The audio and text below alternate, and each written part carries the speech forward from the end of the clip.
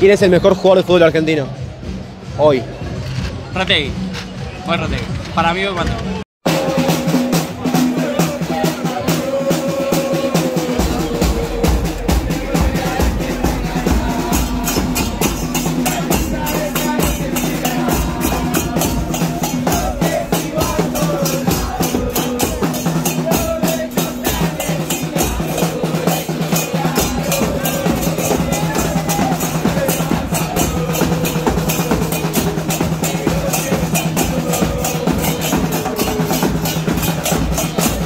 ¿Cómo se vive la previa para, para ver a Tigre hoy?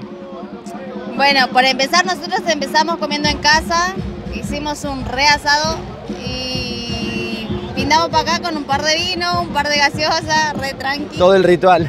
Olvídate, es lo que se vive. ¿Viernes a la noche es mejor o es más mejor un domingo a la tarde, un sábado a la No, tarde? no, viernes a la noche, toda la vida. ¿Por toda qué? la vida.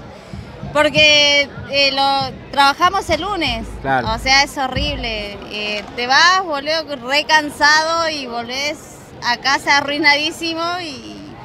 Ahora te queda el fin de semana libre ya. Olvídate, lo mejor. Escucha, y después del partido sale joda o, o no, depende cómo salga Tigre. Creo que es dependiendo cómo salga Tigre. Y si gana, ¿qué sale? Uh, no sé. Lo que Ni- pinte. Ni te cuento.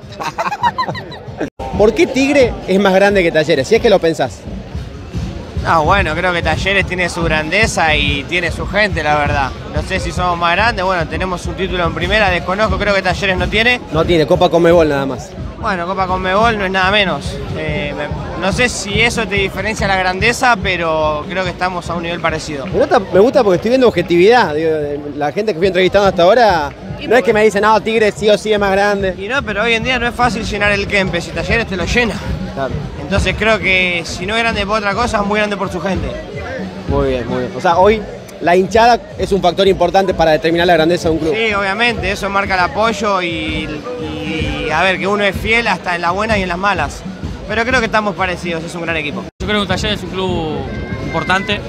Junto con Belgrano, para mí son los dos más grandes de, de allí del, del país, creo que de Córdoba. Del interior. Sí, para mí sí. Junto a Newell's y Central, pienso que son los dos que más llevan gente. Después en.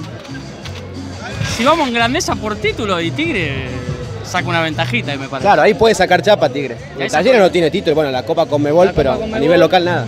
Pero a nivel local nunca peleó, Tigre salió campeón hace poquito, peleó Copa Sudamericana, yo creo que estamos ahí. En hinchada, Y es muy difícil, yo siempre tengo un amigo cordobés y le digo, ustedes son una provincia, son dos clubes, tres, en Buenos Aires hay 50, es muy difícil.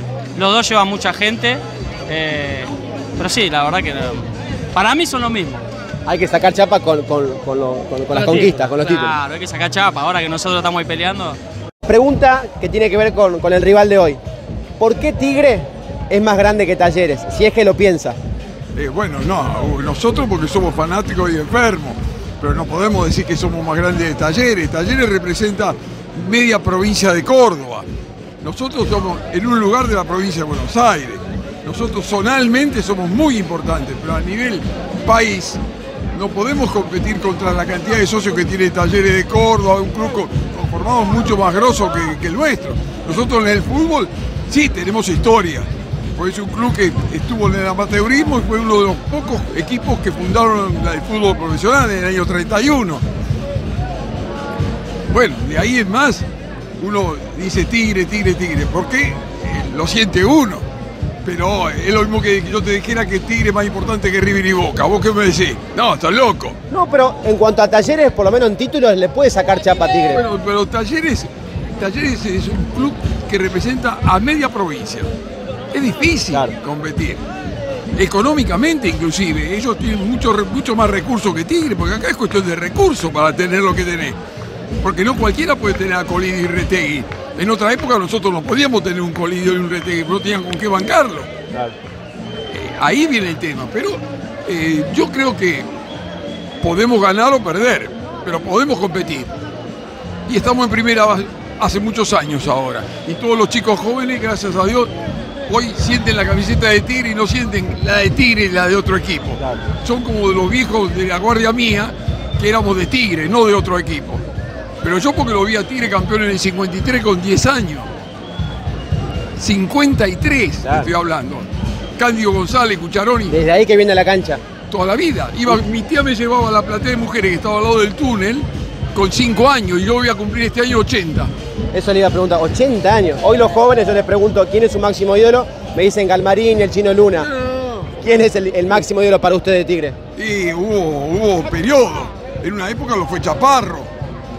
Anteriormente, en la época de eh, Ruggiero Gallino y Bores, Anserra Brunetti Hidalgo, te estoy hablando 56. Era, Tucho Méndez era jugador de la selección argentina. Eh, eran jugadores muy importantes. Hubo periodos, pero hubo grandes jugadores. ¿Esos jugadores valen más que los actuales que son campeones, por ejemplo? Pero esos jugadores de haber jugado ahora, hoy, hoy se, se pegarían un tiro los tipos que los pocos pesos que ganaron jugando en aquella época y lo que eran, eran monstruos, con canchas que eran un desastre. Vos tenías un manejo de pelota ahora, un jugador, ¿cuántos son los jugadores? Fíjate vos el Tigre, ¿cuántos son los jugadores que se van delante de un tipo y lo eliminan en una baldosa? No existe, ¿no? Cachete, Morales en su momento, Colirio eh, ahora, pero te nombro uno, eh, Montillo, pero son- Morel. Morel, Morel era más definidor, pero el tipo que gambeteaba, que sacaba en una baldosa a un jugador, Pérez García era bueno. bueno, Pérez García, sí, sí, pero hubo, hubo jugadores que jugaban muy bien y jugaban en otras canchas. Pero bueno, es historia. Los, los- los jóvenes van a decir, vos porque sos viejo hablar de los de antes. Pero los de ahora, no, los de ahora hoy tienen más ritmo físico. Claro. Hoy te ganan con lo físico. Vos fíjate que Tigre se cae en los segundos tiempos. ¿Pierden la técnica en el segundo tiempo? No. Lo que pierde es el estado físico cae y se cae. Es, es eso. Pero bueno, seguimos viniendo. ¿El mejor jugador de fútbol argentino hoy? Uh, qué pregunta que me hiciste. Qué pregunta que me hiciste. Como goleador Retegui, me parece que los números hablan solo. Pero como jugador, y ahí no sé, me mataste. No, me mataste, pero me gusta mucho Nacho Fernández. Está flojito igual, Nacho. Está flojo, pero bueno, por gusto. Pero como mejor jugador, es una pregunta difícil. Sí, Te tocó una linda época, ¿no? sí, Todo lo vi- bueno. Y yo viví todo el ascenso de la B Metro, que ahí lo seguía a todos lados. Eh, viví la época mala del 2002, que casi no vamos a la C. Pero después vino Caruso y bueno, todos saben lo que pasó. Ascenso, ascenso, ascenso y Copa. pararon. Copa, y no paramos. Goleadas a River, a Boca. Sí, tremendo. Después fuimos a la Copa Sudamericana, viajamos. Yo por lo menos fui a la final. Una locura, la verdad. ¿Quién es el mejor jugador de fútbol argentino? Hoy. Retegui. Fue Retegui. Para mí. ¿Quién es el, quién es el, maxi- el mejor jugador de fútbol argentino hoy?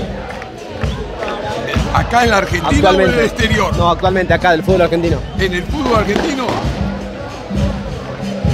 Bravo decir a quién puede ser el mejor. Y lo, teóricamente lo tendría que tener River o. Sí, Retegui puede ser, ¿eh? ¿eh? Retegui puede ser o no. Y como definidor, Retegui, como definidor, como goleador, eso no significaría el mejor jugador técnicamente. Pero es un definidor. Para su puesto, hay pocos en este momento. Pero a mí, yo te digo la verdad, yo creo que si lo sabemos aprovechar, es que es un jugador de gran nivel es Colidio. Colidio, si, si se mete en el partido, eh, los goles que hace Retegui, el 80% son jugadas previas de Colidio. Y cuando, cuando Colidio cae, cae el equipo. No cae él, cae todo. Y, y Menossi también pesa. Menossi también pesa.